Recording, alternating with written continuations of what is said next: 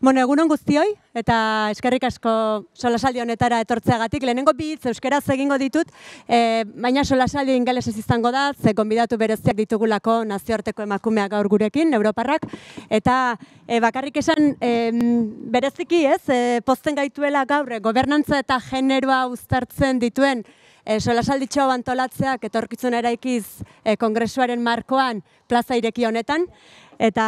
Mm, E, gaur gainera, emakumearen indarkeriaren kontrako naziarteko eguna egunean, ez? Ba, bereziki, ez? E, iruditzen zait, e, garrantzitsua dela, horrelako solasaldi bat e, e, gertatzea, eta hasi baino lehen mila esker, Eider Mendoza gobernantza diputatuari eta nerea isasi, Gibuzkako foraldundiko berintasun zuzendariari gurekin egoteagatik, plazerra da benetan solasaldi apal honetan ez gurean izatea. Eta, bueno, ba, euskeraz gehiago egin gabe, ingelesera pasako nahi zuzenean, ba, gure eh, ulertu diezadaten. Uh, thank you very good morning and thank you very much for joining this conversation on uh, governance and uh, and gender equality. It's an honor to host you here. We have um, some great women, European women, uh, coming from a fellowship program, the BREAK program coordinated by Impact Hub, that are joining us uh, to have a conversation on, uh, on the importance of uh, fostering the gender equality when introducing new governance models. And why we say new governance models, that we need new governance model. As Arantzazu Lab, we are promoting governance innovation together under the strategy of the Provincial Council's Etorkizuna Eraikiz uh, strategy that aims to build a collective answer to the current social challenges. Because we believe that only by reinforcing the networks between governments and civic society, citizens, and social stakeholders, we are going to be able to address the complex challenges that we are facing today as society. So when, we talk about governance innovation, it's about changing the way we, are, we have relationships with actors. The, it's about changing the networks with uh, citizens, with social stakeholders. It's about incorporating civic society into that new deliberation space. It's about creating new co-creation spaces and for that, we believe that we need new skills. We need to change the traditional structure of the public administration, which in my opinion has been very vertical, hierarchical, and I would say masculine. So uh, we believe that uh, women uh, have, um, play, can play a key role in changing and articulating the new relationships and the new networks between actors that are necessary to address the current challenges. So we have, um, we are proposing a set of questions uh, to you, but please, like, feel free anybody to take part in the conversation and uh, make any comments if you, if you would like to.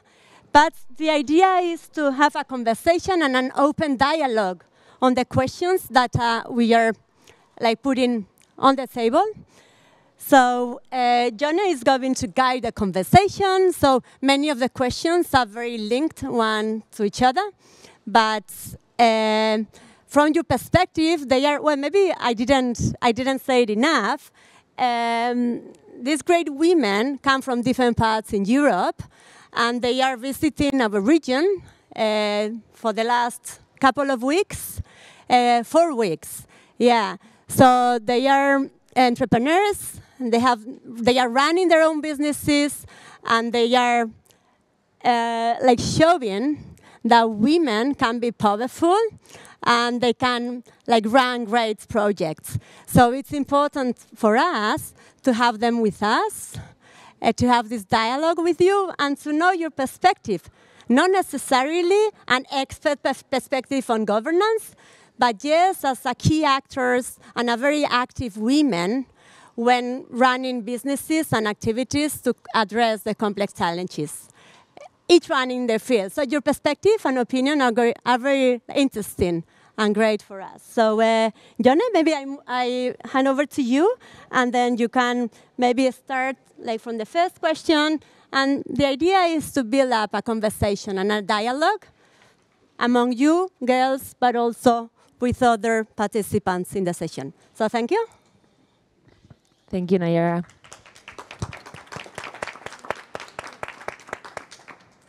So from our side, we wanted to suggest a set of questions to kick off the conversation, but please feel free to add um, or if anyone has any other questions, we're also happy to weave them in. Uh, there is no like a rigid structure that we will follow. So the um, I'll read aloud the first three questions and first hand it over to you because we're looking forward to hear your reflections on on this set of questions.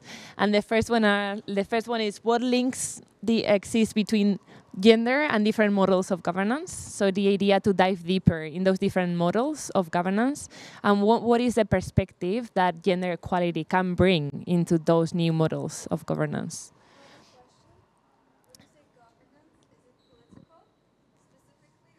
Mm -hmm. Mm -hmm. That's a very good question. So when we say when we talk about governance, the approach that we are uh, focusing on in Arantzazu Lab is collaborative governance.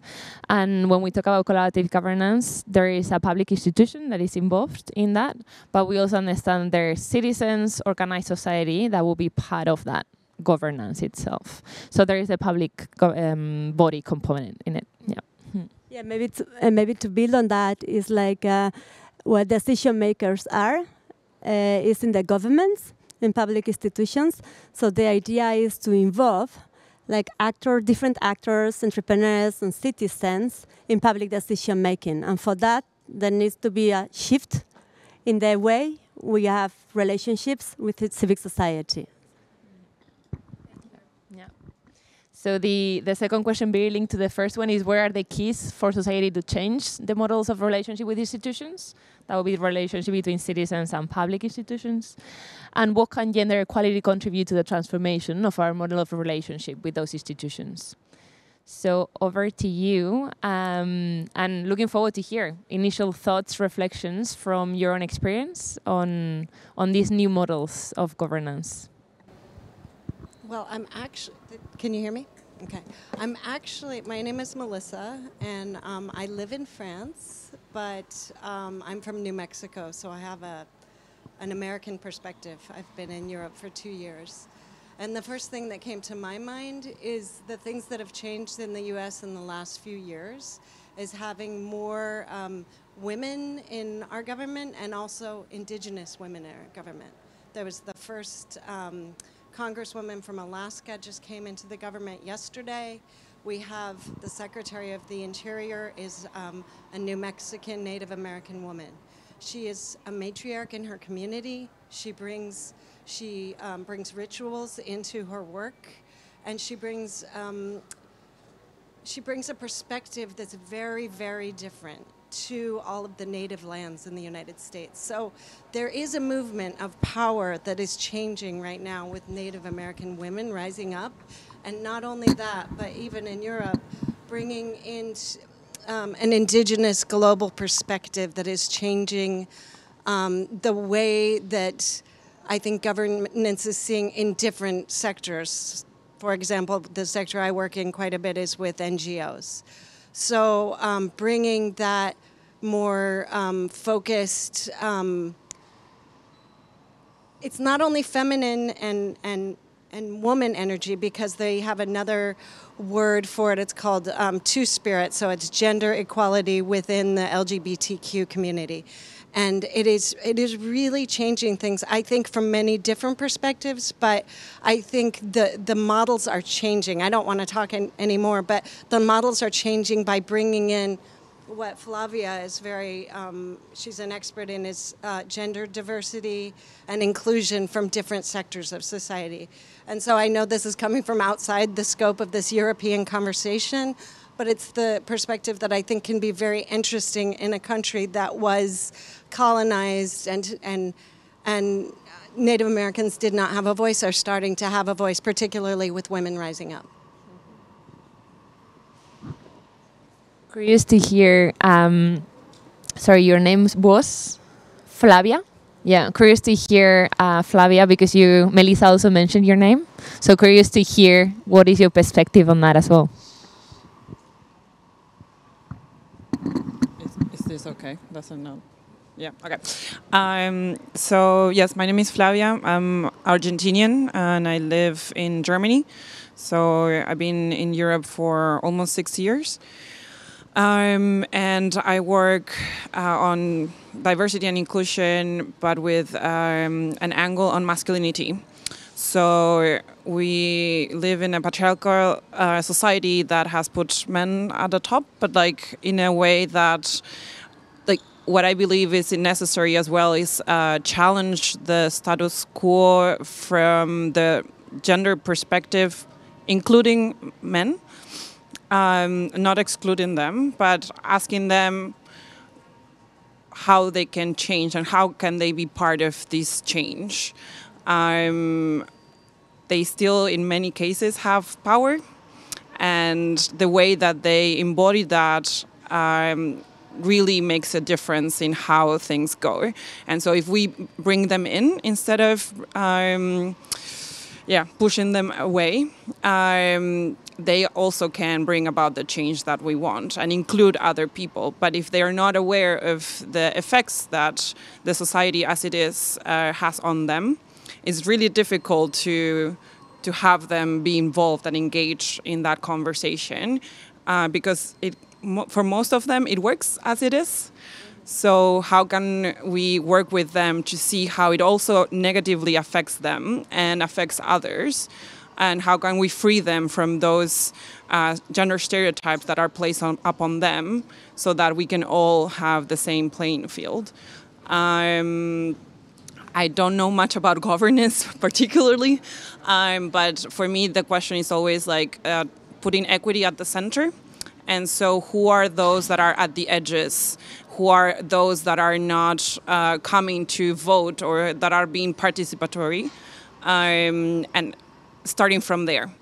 So starting from the the edges and bringing those in, because when we do that, then everyone else will be included.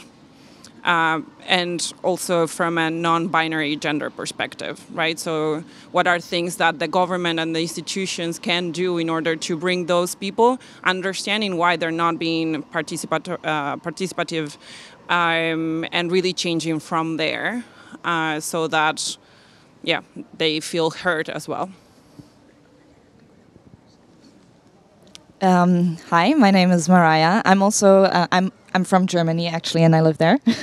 and um, uh, I think it's a very interesting perspective from our country, as we had uh, many years a chancellor who was a woman, who is still a woman, and um, but she's not the chancellor anymore. And so we had a very, let's say, funny conversations when that changed. Uh, a lot of memes, uh, of course, in on the internet, where we said. Um, so in German you have the same as in Spanish with um, uh, with the um, difference in how you call the job uh, for a woman or for a man. So um, we uh, always talked about Bundeskanzlerin, which is the female version of it. And there were people saying, I refuse to call now the new chancellor, the male one, Bundeskanzler, which is the male, because I have always said Bundeskanzlerin. So that was like the fun behind it. But I think um, to get it to the high level, uh, why is this link between gender and governance so important? Because public institutions and governance are also a role model. They are public. So if we want that uh, the the the actually the the society trusts governance, it has to be um, an active a participation and a role model of what happens in society too or where society has to move to. And i think that's a very important link between those two. Hi i'm eva. I'm spanish but i live in france.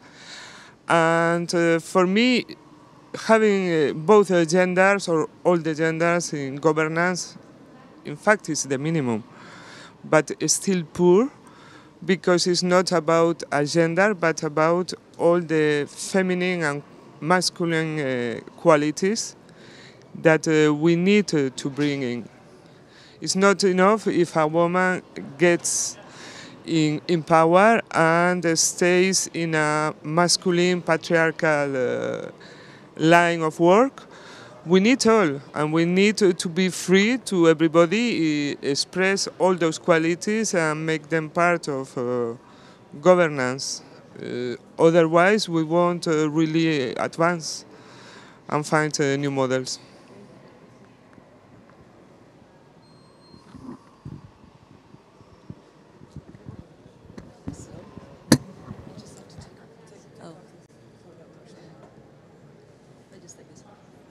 Uh, hello, my name is Hannah. I'm from Australia, also part of the break. My experience with governance is mainly around corporate governance in cybersecurity and IT security. So I actually consult with firms on how they can develop better governance around this area, like data protection, how to be better secure. And a lot of my dealings has been there's def- a definite gender, you know, two percent or no five percent. So I was in a department meeting, was five percent women and then the rest men. So de- definitely that's I mean, it, it also goes with the relationships being built with other, with CEOs, executives as well, because it's usually the effort is, as you know, top down is you know what what's the case with cybersecurity. So it would be interesting to see how it goes with some more grassroots efforts, like different technologies in place, like for example Twitter with Elon Musk buying Twitter, and then there's this kind of grass grassroots movement with having servers being developed and you know you run it yourself but then it's people with technical skills do that. So there's still a gap that I can see. Yeah.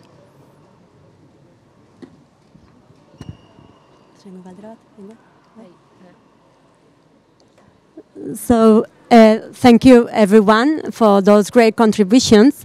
And maybe like connecting to a comment that Eva made, it's not about just uh, ensuring gender equality, but we need to bring in new skills uh, like uh, the quality of relationships. So, what about? Could you please share on your view uh, which are the skills and the specific characteristics that maybe women can bring in into the institutions?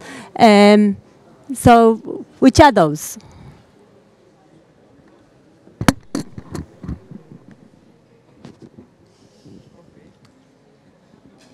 Well, uh, more listening and less imposing, uh, a more linear, not uh, up and down uh, scale no, of uh, power in which there is a space uh, for others, perhaps more practicity about what is uh, needed and how to put it in place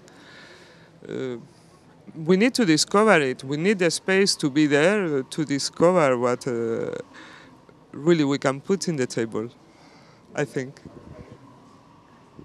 Yeah, and for me, I think it, it also has to start with um, young people and pipelines. So so really empowering young people that they want to be part of organizations that, that may not look like them and start to change them from within. So I think a lot of what I was describing going on in the United States has been, for me, um, a woman in her 50s who's never really seen um, these women from uh, Native American cultures in power for, as, as, role models for the young women is completely changing things. And there are more entrepreneurs who are um, Native American and Indigenous than I've ever seen, and that has to do with role models. So I think the skills, a lot of those skills, is about networking, connecting, sharing knowledge, and sharing knowledge through mentorship of younger people, but also sharing intergenerational knowledge with. Um, these powerful women leaders that exist all over the world, from the Maori people to the people, um, the Sami in Sweden, that there's so much that we can learn. Um, looking at what has worked over time, not only with governance, but with climate change issues and with issues around leadership and um, working in the environment and saving, you know, the rainforest. It's it's really quite clear that that societies that have given that have stronger um, uh, indigenous values um, and and empowerment, it, they really do make a difference and have ideas that really can change the world. maybe one more thing to add uh, what i think is extremely important what also flavia mentioned with uh, her work is it's not only the skills bringing something new to organizations or a new leadership uh, skill incorporating and uh, bringing it to life in an organization, but uh, the men wanting this change and supporting this change and supporting women um, and all other genders as well. So this whole openness is so important so that it's not only that we're talking about women and how women can improve it, but how we all as humans in one organization working for the same goal um, can work together and support each other.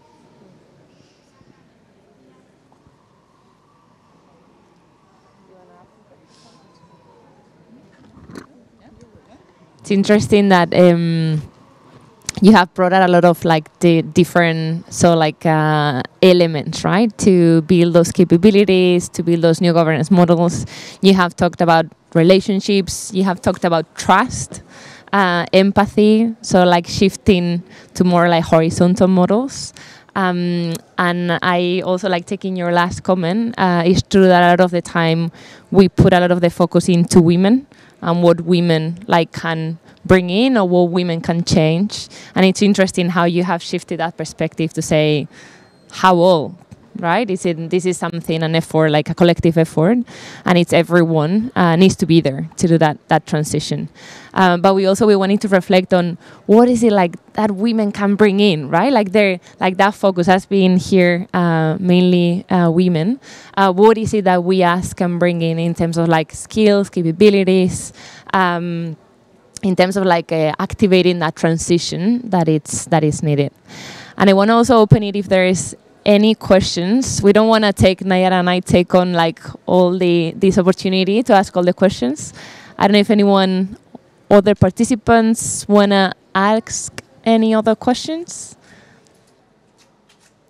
No, if not, we'll continue with our set of questions. Yeah, okay. So uh, Naya put a focus on, on the skills questions, uh, but then we also wanted to dive deeper. And uh, you are women entrepreneurs, and being an entrepreneur requires a very specific set of skills, very specific set of like being in the world as well. Um, and we believe that there is a lot of, to learn from uh, people like yourselves. So we were wondering if we're thinking about gender and governance from women entrepreneurs' perspectives, what is it that you believe that we can learn from from you? What is it that we can take from entrepreneurial uh, skills, mindsets, um, ways of doing that you have very embedded in the way that you approach your businesses, that you approach your everyday challenges? What is it that we can uh, learn from that um, when we're talking about governance and gender?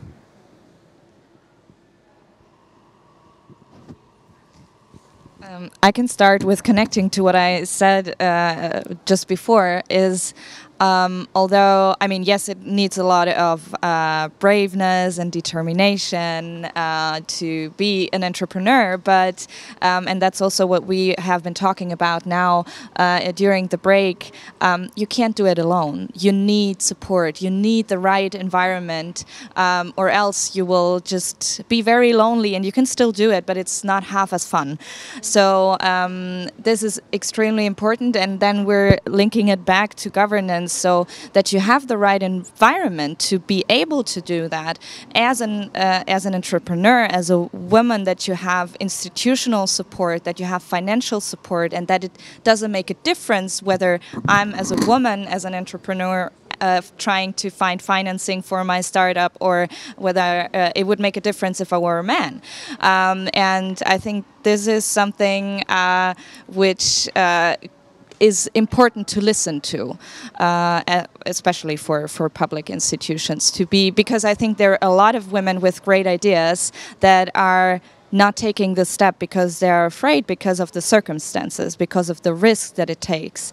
Um, and if you have the right environment, um, personally, professionally, and institutionally, you can do it.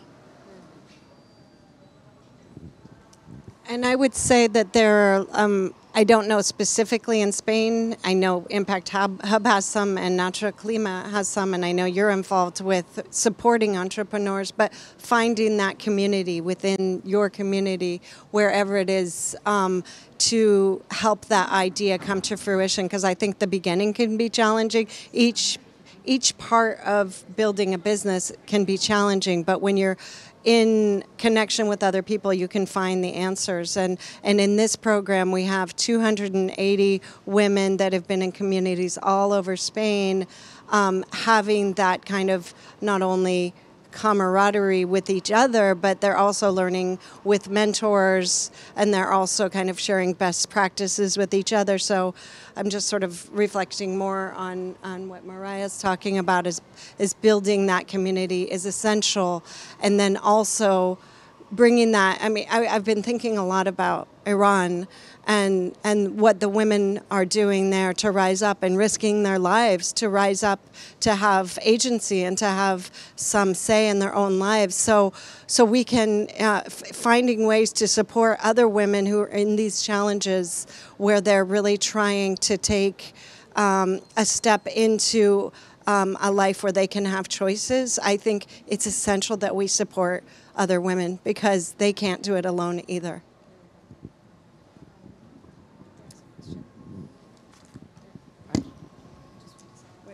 there might be a question. May, may I add to that? Like, uh, or do I have to only ask questions? Yeah, okay. I have written it down, but please let me know if I'm talking for too long. I'm not going to talk too long. but um, I just want to start off saying that I really believe in having quotas uh, when we elect governments because I don't believe in group of leaders that do not look like the people they lead. And I think that it's not just enough to have women, um, because a Caucasian woman has a completely different experience than minorities. And I am I'm Kurdish. Like speaking of the people in Iran, it was the indi- indigenous people in Iran, like the Kurds, who started this revolution. Um, I think that uh, like these people are against hijabs, but if you have a like with all the respect, but there are some white feminists who are against hijabs. But we see that in modern times, um, or in the West at least, women have changed the reasons why they wear it. Um, and so, therefore, I think that a hijabi woman should also, or like someone who understands it, should also be in, in that government to justify it. Um, as well as queer people, like trans women, who um, are not accepted. I don't know what it was like other places, but in Norway uh, during Pride, they had this challenge of feminists of all color being against trans women being in the in the in the uh, what do you call it in the march, which is ridiculous. And then it leads to what women need to do to be regarded as leaders. So I became a CEO and um, something I started to do in the beginning was that I had to change. I started to change how I dressed, uh, what I wore, because I had men interrupt. I had one man interrupting me during my pitch to say that he was staring at me because he thought I was beautiful.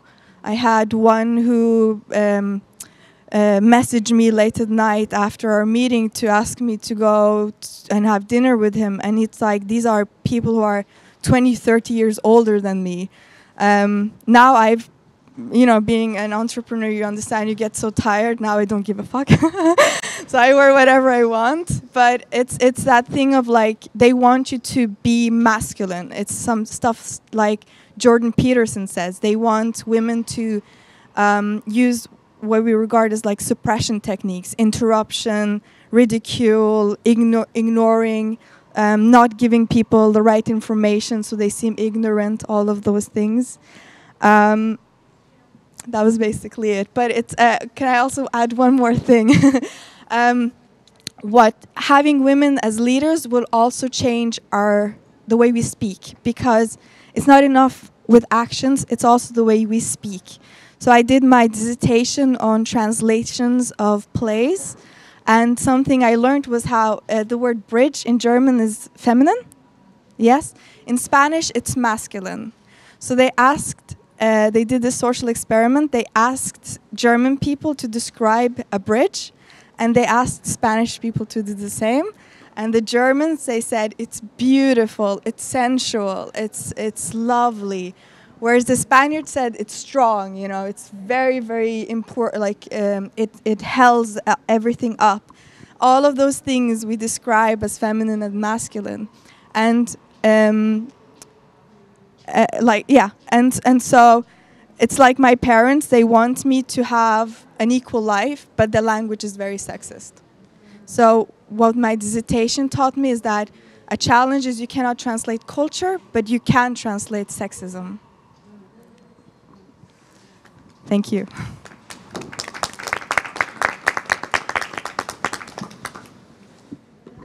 Yeah, I think you have brought up very um, important elements, and in terms of like uh, language as well, how much uh, we share, right, or how much we, um, even in the subconscious, how much we can communicate with the words that we use or we don't use. So very important.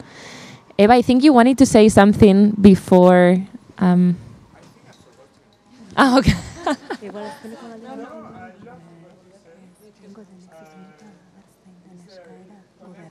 Mm-hmm. At the beginning, uh, it's not only men, men and women. It's about uh, all the values uh, together, and learning, no, to to be all men and women. And uh, if we can't bring women this uh, to, the, to to the arena, we are we are not doing all.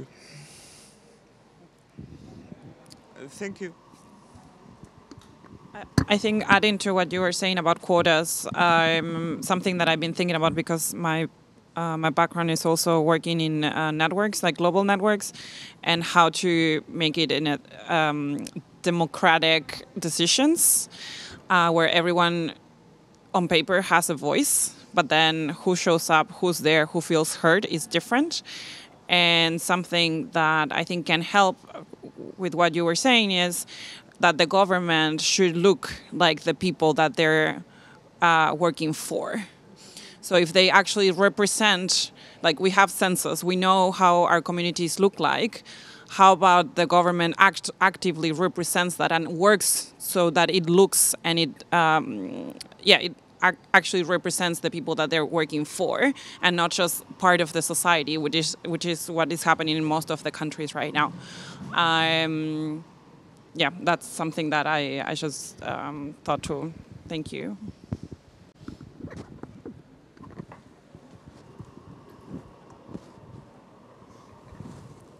Egun ondan, oi, ez dakit euskeraz egin dezakedan gaztelera ze inglesez enaiz gai.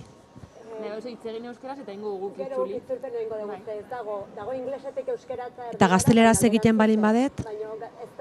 Ez da ere, bale. Euskeraz egingo dut? E, egun ondan hoi, eh? Enaiz gai gazteleraz e, behar dan bezala e, hitz egiteko eta beraz e, euskeraz egingo eta gero itzulpen gintzea egiteko eskatuko dizuet zuei. E, izugarri gustatu zait e, gaurkoan komentatu dezuten guztia eta gainera ikuspegi oso desberdinak etxertatu dira gaurko diskursoan. Pixka kokatzearen edo ni e, aldundiko ordezkaria naiz, gobernantza diputatua naiz eta hautagai naiz urrengo hauteskundetarako. Bai? Eta kasu honetan e, aukera gehien duten emakumeak hauteskundek irabasteko alderdi politiko nagusietan e, emakumeak dira. Lehenengo aldia izango da, irabazten duenak irabazten duela, baina bueno, gaur egun dakigunean oinarrituta emakume bat izango da lehenengo aldiz diputatu nagusi Gipuzkoan, ez? Nik hori oso berri ona dala. Neri askotan esaten zait zerbait eta da e, emakumeen artean ere estilo desberdina daude, gobernatzeko estilo desberdina daude. Hordako adibidez Jacinta Ardern, e, e, adibidez Margaret Thatcher, ez? edo Angela Merkel, hiruak oso desberdinak dira, baina badaukate gauza bat amon komunean, eta da, danak emakumeak diala, eta danak gutxituak izan garela, politika gintzan ere. Ta nik uste horrek, e, adierazten duela, edo hori da gure ezaugarri nagusia, eta zeuek aipatzen zenuten, ez? Ez dena ikusten, ez da existitzen. Eta emakumeok, emakumean daukagun hori, estilo desberdinak eukiarren da, ez gerala existitu. Eta beraz, guk ordezkatzen degula e, gizarte osoa, eta e, gizonezkoek ordezkatzen dute gizarte oso bat nun emakumeak apenas parte hartu duen agintean. Hori bai da ezaugarria eman komun badaukaguna, naiz eta gero gobernatzeko garaian desberdinak izango geran. Margaret Thatcherrek estilo bat oso autoritarioa eta Jacinta Ardernek zehanda berrian oso desberdina, ez? Estilo era bat desberdina, baina biak em, emakumeak izan da politika gintzan erabat e, gutxituak. Eta bai uste horretan pauso bat eman behar degula, alegia, e, existit, ikusten ez dena, ez balin bada existitzen ez dago ordezkaritzarik, beraz emakumek ez dute inoiz pentsatzen aukera hori eukiko dutenik. Eta noski aipatzen zen duten bezala, ez dugu e, ez gera inoiz ordezkatuak sentituko baldin eta beti gizonezkoa baldin badiragu, ez dugu ez pintatzen, ez? Bueno, egin dituzuten ekarpenak oso oso aberasgarriak izan dira, ze ez da bakarri generoaren aipatu, beste hainbat kontu ere aipatu dira eta benetan eskertzen dizuet ze ekarpena e, oso baliogarria izan zait. Ta jakin nahi nuen ea zuek ze ikuspuntu daukazuten estilo e, zea horretan, alegia, emakumek ere estilo desberdina dauzkagula. Baina, ama komunean daukaguna da hori gutxituak izan garela politika gintzan ere. Aber ze no, nola ikusten dezuten, hori galdetu nahi nizueke. Eta aurretik eskertu noski. Did you get the translation? Yeah? Okay, so please. Oh, you didn't get the translation. Yeah, you got the translation? No, in Spanish. Ah, in Spanish. So maybe we can do. Well, oh, yeah, I can do it. huh? Yeah, so thank you, Eider. No, no worries. Yeah, thank you. So uh, she's um, ac- she's currently the governance deputy, but she's uh, she's got uh, she's like the candidate uh, to become the next head of the provincial council uh, in the region. So, and she said that uh, this is the first time that all the candidates are women. Well, the, the major party, uh, political parties candidates are women. So it's going to be the first time that we're gonna have a head, a woman head of the provincial council. So uh, she said that we've been underrepresented. Women have always been underrepresented. So we've always been a minority. So it's we haven't been represented, so it's important. It's, difficult the society see a, a, refl- a reflection in the government because we have never been there. And then she also pointed out that we have had uh, women leaders throughout the world uh, with a very different styles, like from Margaret Tha- Thatcher to uh, Jacinda Ardern. I mean, both are great women leaders, but the styles, the governing styles, one is more authoritarian and the other one is more horizontal. So uh, she was asking you what you think about the leadership and the style thing, this combination, and what's your view on that? Right? I mean, of course, I'm I'm speaking from the American perspective, and it is it is unbelievable right now the the the difference in the leadership of different women in the government. So they're the more radical, open, um, feminist, uh, women of color perspective, and right now. Um, we have a few people in government who are very, very much the opposite, right wing, taking the line of Trump, um, a completely different perspective. And I think, I think there's just in the U- U.S. right now, there's such a heavy divide between the two sides, and so um, to have a, the large representation of one of that, the more um, progressive and open and democratic leaders be very high up in government. Deb Haaland, um, her perspective is is very wide and open and feminist, and yet we have another uh, of Taylor Greene who has the opposite. And it really is quite difficult for i think the public to really see these two sides because they're completely different. And it and it not only does is the government divided but the society is divided and it, it is it is very difficult to see um, maybe to speak from a from a business perspective, what I can see, um, especially in in Germany, in the let's say, yeah, startup bubble uh, with more uh, female uh, leaders and um, how they lead their businesses, but also um, if we look at I don't know uh, the leaders in Finland and New Zealand bringing this new style um, of, for my taste, making leadership or governance something more personal, um, and and this allows um, more or let's say easier identification also for um, ident- yeah, id- identifying with the leader because then there is a creation of trust.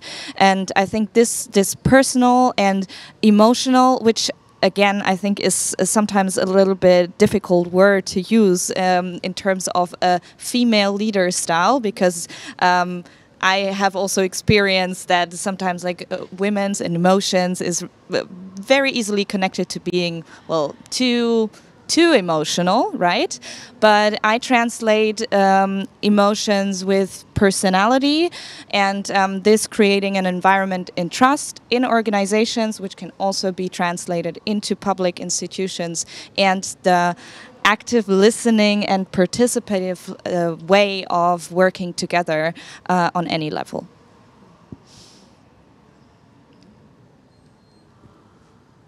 Uh, I think something also that has, for me, has to do with uh, the different styles, even in women, on leadership, um, is, as you mentioned, the lack of um, representation.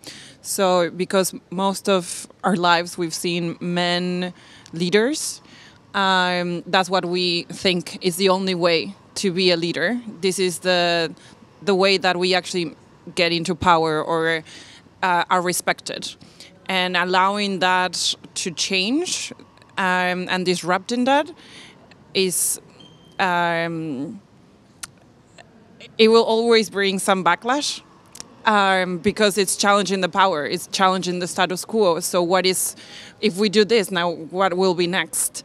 And so um, I see that like with Margaret Thatcher being more of a like a traditional masculine leader, while uh, Jacinda Ardern was like embracing um, what you meant, uh, what you mentioned um, herself and like how she wants to be and how she is, and then you know just going with it no matter the the backlash that uh, or like the yeah the the what people would think it, it is is this the right way to be a leader or not? Like it's just like the way it is, and then people will like it and people will not like it, um, and just accepting that.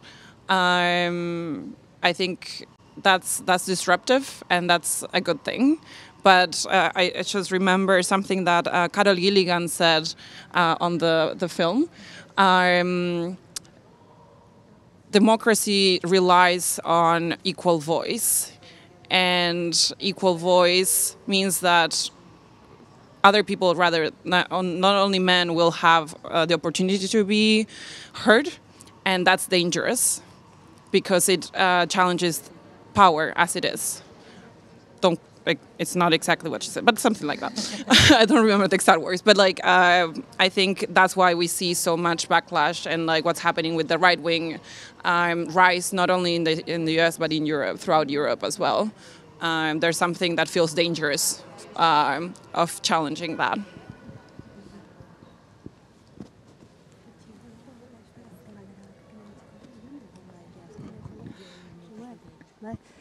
So thank, thank you everyone. I think we have like five minutes to go, three minutes to go. So maybe uh, I would like to close with a very last question and uh, taking the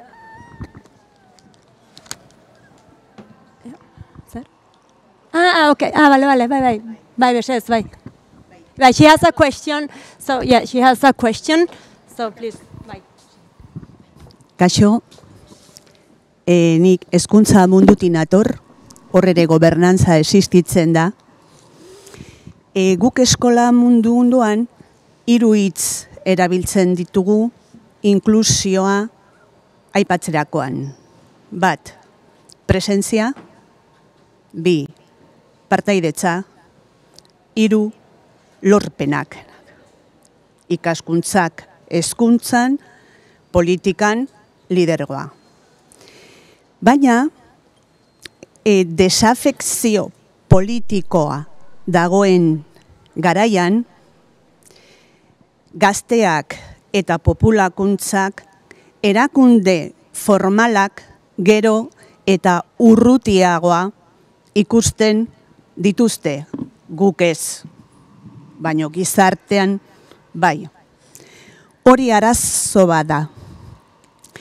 Beraz, ezaugarriak oso importanteak dira, baina uste dut, eta zurekin nago, ze hizkuntza erabiltzen ditugun, eta ze testu inguru sortzeko gaitasun dugun dela importantea. Adibidez, orain, gu gaude Euskaraldian. Zein da erronka testu inguruak sortzea. Gorria, urdina, berdea. Bai? Por cierto, gaur arratsaldean zazpitan denok manifara. Bai? Hau e, itzuliko dutola puntu garrantzitsuak beraiek ere jasotzeko. Bai.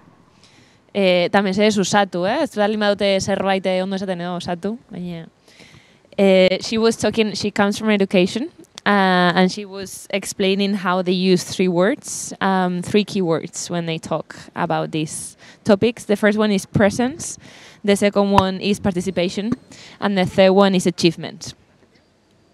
Uh, she was also reflecting how there is a growing disaffection be between citizens and public institutions, and there is a growing uh, distance uh, towards public institutions. We uh, people, citizens, they see them like farther and farther away. Um, and she was reflecting also how important it is, and she was agreeing with you on how important it is uh, to reflect on language, on the language that we use, and on the uh, conditions or the uh, context that we can set up. Um, and that's, as you know, and we reflected last week in Arantzazu, uh, we are wearing our uh, tags because of the, um, the. Um, so here for us, as you know, Basque um, and language is a very, very important conversation. And she was also inviting you to go to the uh, to the demonstration that will be this afternoon at seven. So everyone needs to be there at seven.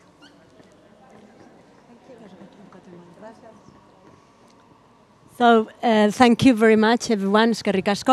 I think we are done. So I just I would like to close this great conversation. I think we could stay here for for longer and for hours. So thank you very much for your great contribution for joining us in this dialogue on uh, gender and governance. Thank you everyone for bringing in these new and great perspectives. Thank you Eider Nerea for being with us today. And I think as some of you said earlier, uh, we cannot do it alone. So let's join forces. And I'm sure it's going to be our future as women. So thank you very much, everyone.